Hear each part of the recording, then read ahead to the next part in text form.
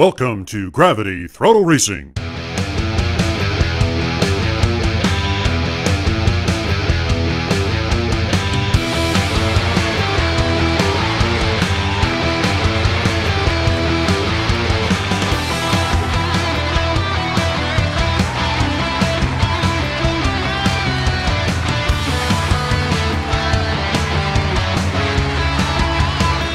Welcome to Gravity Throttle Racing, and my name is Aaron Tate. And this is Richard Gear. And race fans, we've been through four episodes of Clone Wars. We're about to do number five. Polo Racing comes to us from Texas, but represents Puerto Rico, driving these wonderful looking Audi Sport Quattros. Next, we have Arlo Racing, and he also is driving an Audi Sport Quattro. Arlo comes to us from Connecticut. And then finally, from the state of Iowa, Manchild Motorsports, Papa Pugsley. He is driving the Scirocco GT24. We would like to point out that in the last episode we made a mistake, and we called the Lancia Delta a VW Golf GTI. That's right. And that was Aaron's fault. No, it was your fault. It was your fault. No. Wait a minute. It, It was, was the, the producer's fault. I feel much better clearing that up. Race fans, here we are, lane one, G4 diecast. Numbskull is in lane two and Polo in lane three. G Force is in lane four, and it's a great start. They're all over the creek looking good. Wow, what a competition, Polo! And Numbskull have the lead going into the respective lanes. A little bit of overdrifting by Polo, and look at G4 diecast pull out in front of Numbskull. They seem to have the lead now as the other drivers are backwards coming out onto the runway. And G4 diecast stretches the lead over Numbskull onto the scrambler and flips over G4 and Numbskull. G4 is then third, Numbskull in fourth. And Cousin Ricky for president. Oh my goodness. And Polo Racing takes fifth. Race fans, episode 5 is underway. The first race is in the books. Let's go back to the instant replay. Look at how all of them are looking good except Christine and Giorgio on the outside. They get tangled up in the snow, and only one of the drivers is able to get out, but then goes straight forward, not drifting at all. That was the end for G Force. Look at the speed of G4 diecast. The rear driver of Polo gets stuck coming around the chicane. First three drivers are looking so fast coming down. G4, though, has had trouble on the scrambler. Lucky enough, Barrel rolls it coming through in first. Numbskull barely taking second. G4 has 14 points to add. Numbskull has 12. And Polo Racing only adds 4. We are back up at the top here, and G Force now has the interior lane with G4 next to him. Numbskull has the catbird seat, and Polo Racing is now on the outside. Off in the distance, it looks like Yoda is staring at the Numbskull sign. Hmm. Let's get back to the racing, though. Looking good, all of them. Here comes G Force pulling in a little bit ahead, ahead, yes, of G4 diecast. And Numbskull's looking good. Oh, but now he's flipping off the track, trying to get back on. Here comes Polo Racing.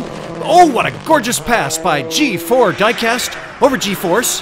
That is a wild tongue twister. Look at that. Swirling in for first place is G4. G Force in second. Numbskull in third. G4 in fifth. Fourth. Numbskull in fifth. And Polo drove by his teammate and takes sixth. Hmm, I wonder why he didn't push his teammate and himself through the finish line. Anyway, let's get back here and look at some great drifting. Numbskull, Polo just battling it out. Look at that. And watch the rear driver of Polo. He's going to make Ross Chastain very jealous with that wall ride. Now, as they continue down, it is G Force in the lead as Numbskull has trouble over the bridge getting off the track. But the other drivers watch push him through. Polo is itching to get out there. And now, Polo Racing, both drivers just careen, skidding around, and G Force gives a batter up and knocks them on forward. Polo Racing's only going to add 7, G Force will only add 7. 27 for G4 and 22 for Numbskull. Well, and that's what's going to happen, race fans, when both your drivers get through both times. They're going to be way up there up top. Lane one of the second group is Ironbeard Customs. Arlo is next to him. Maker's Box in lane three. There on the outside is DRT 3K Racing. There's the green light. Oh, Arlo has a wonderful start. He's got the lead. Looking good. They're bouncing around and check out. DRT 3K way out there on the outside. What a gorgeous drift. He is well ahead now, as you can see. That wonderful drifting paid off. There's nobody in sight. Okay, here comes Arlo. But DRT3K, the lead driver, has a wonderful, comfortable lead. Coming around, wonder if he's going to break the track time. And he comes through 24.176. Ironbeard Customs is second, Arlo in third. It is Maker's Box in fourth, Ironbeard Customs in fifth, and Arlo takes Arlo will take sixth. Hmm. Richard, I really thought for just a second there that DRT3K, look at this amazing drift from the outside lane coming in so smooth. The other drivers looking great too. Look at Maker's Box, but with that kind of a drift from the outside lane, it looked like the fastest track time was in jeopardy. Watch here as Arlo is wrestling with Ironbeard Customs and the rear driver of DRT3K takes a tumble around the chicane. But it is Ironbeard that pulls ahead of Maker's Box, and then Arlo swerves out on the runway, and Ironbeard Customs pulls ahead. The last lap has to go to Ironbeard Customs because he manages to overtake Arlo, the front driver, down the scrambler and leads with 11 points. Ironbeard has definitely been a consistent racer through the first four episodes. We've got DRT3K on the inside, then Ironbeard next to him. Arlo is in the catbird seat, and Maker's Box has the outside lane. Lights are flashing yellow. Get ready, and here we go. Race fans, it's Arlo in the lead again. Oh, something happened to Maker's Box, and Arlo has a clear lead. Here comes Ironbeard Customs down the Joker, lane first. Good drifting by Arlo, but now a little bit stuck, and the rear driver has to give him the assist. I think Ironbeard has the lead coming out, and he does. Down the runway, oh, but he skids. Look at Arlo take the inside, the right hand side of the path, and now pulls ahead. Around the big U he goes. Ironbeard is right behind. But a nice finish. Arlo takes first. Ironbeard in second. Ironbeard will take third. And once again, both cars finish. And here comes DRT 3K with fourth. It's good when your driver can take first, but the real key here, ladies and gentlemen, is that both drivers finish. Arlo, the front driver, comes in nice, beautiful, but then hits the retaining wall too hard, and the rear driver has to give the assist. Maker's Box couldn't even make it in there. Now, this is unusual, as Ironbeard, both both cars have trouble coming down from the Joker lane. Ironbeard Customs, though, pursues Arlo, and now, after both races, Ironbeard Customs will add 24, DRT 3K will add 13, Arlo adds 17. Let's go to halftime. Race fans, today, for our halftime challenge, the men in black with a giant roach have come to try the Soapbox Derby. Hey, look, Richard, the producers are letting me fly the drone. Harvey, Oh, Billy, hold my beer, guys. You sure you know how to control Aaron? Oh, careful, Aaron, careful! Boy, get you get the hang of this? It's coming. Oh my goodness, Billy, I think he was sitting backwards. Well, he's off the track now. Let's see how the men in black do. And careful there, Aaron. I got it, Richard. Good. I'm glad you got better control of it. Look at the men in black. They're doing well. First time down. I wonder. Let's see how they do on the jump. And oh, ouch! they kind of ditched him. Where's Billy? Is he on? There he is. Okay, so now Billy is leaning on the left-hand side. That's so they don't veer off to the right. Oh, that's a good point, Aaron. Still, it's kind of stupid. Why would you hang your head out so drastically? All right, well, we're about to tell if his counterbalance really works. Oh, that was lovely. Okay, third time's a charm, and it looks like Billy finally looks like he finally screwed his head on straight. He is sitting in between the men in black, facing forward, looking good so far. How are you doing with that uh, drone there, Aaron? Richard, it's a piece of cake. Yeah, you're you're gaining a lot of confidence. Okay, keep your eyes on him. Here he comes over the jump. Oh, not bad. It spins around. Oh, oh dear. They're going slow. I think Grogu needs to like speed it up. Come on, Grogu. Oh, good job, Grogu. Come on, Grogu. Speed it up. All right, here they go. Down the scrambler. okay, 42.6, and Billy looks like he's ready to throw up. Good job, Men in Black. Well, race fans, uh, I hope you find the halftime mildly entertaining. Thank you for all the entries so far. Let's get back to the racing as lane one is the A team and MCR is next to him. We've got Chase Family, and on the outside is EP Video. Let's go! Good start. Look at that. And Chase has the lead. MCR, no, it's Chase. Boy, tightly packed, and there goes the Canadian team on the inside. There's some mess up, mess up drifting going on, and look at the Joker lane as there's quite a battle. But we've got seven of the eight cars coming around, and it is Crazy Canuck in the lead. Boy, some crashing going on off of the runway and around the big U. Is Crazy Canuck gonna hold it? And he does. Comes in first. MCR in second. Chase in third. Whoa, and too many to count. Aaron, we're gonna need your help. Well, we'll certainly sort it all out there, Richard. But let's begin with the uh, ugliest drifting I think I've ever seen.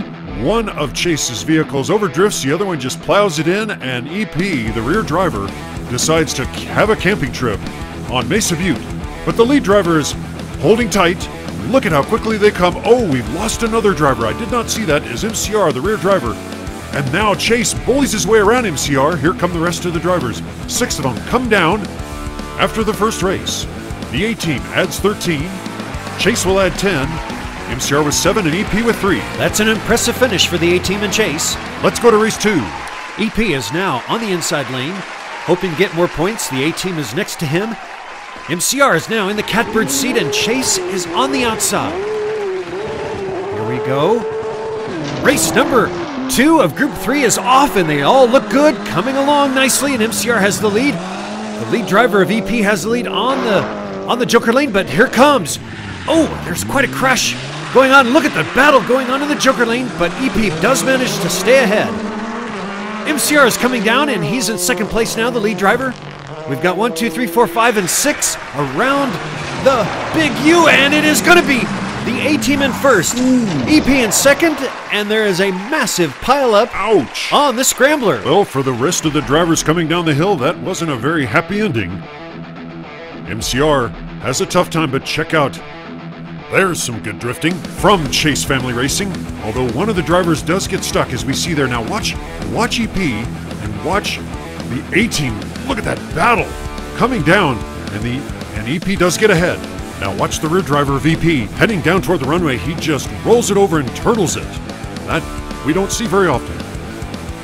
Grogu is checking out the six drivers, but the force wasn't with four of them. After both races, the A team has 17 to add, EP with 10, Chase with 10, and MCR with 7. Well, and race fans, if you're not familiar with the format, the Empire, lane one, they are not here to get points, they're here to take away. That's not very giving. Monster Motorsports in lane two, Mr. Dark in lane three, and Manchild Motorsports in lane four. Here we go, the final group of the day. Looking good so far as they race. Oh, and Manchild Motorsports flips over. It is Mr. Dark coming through. Pretty good drift. He get, does get turned around. The rear driver's going to come in to help, but look at Monster Motorsports. He has the lead coming off the Joker lane in first place. Down the runway looking very smooth. Coming around it, there are other drivers behind.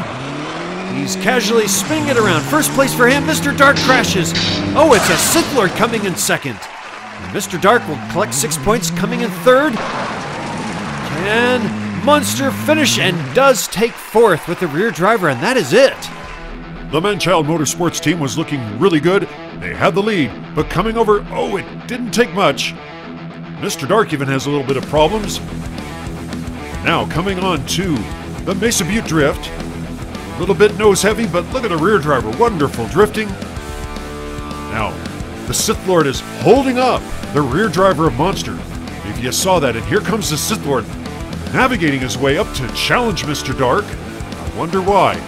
And Mr. Dark cuts him off quickly. Oh my goodness, the rear driver of Monster does get spun out, but kudos to him for finishing because Monster now collects 13. Dubious diecast with six more points. We're going to go to the final race. Richard, Race fans, we want to thank you for tuning into episode 5. This is the last race. It's a critical one. Manchild is on the inside. The Empire is next to him.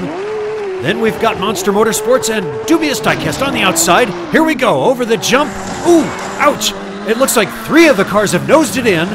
We've got one Dubious Diecast racer on the outside. Monster is deciding to go in reverse. Let's see how that pans out for him as he has a nice, sizable lead. We don't see the Sith Lords. Front driver of Monster Motorsports is making his way around the Big U. The rear driver is passing in, and a little twirly twirl. And the rear driver comes in first. Monster in second. Dubious in third. And a Sith Lord is limping down. There's no one else. well, if there was ever a time for a man-child man to throw a child tantrum, it's now. The front driver ditches it. The rear driver imitates. Look at that, and now look at Dubious. He gets in on the act too as three of the drivers just ditch it over the creek jump. Now, Richard, check this out. Huh? What? What? Yeah, watch this. Okay.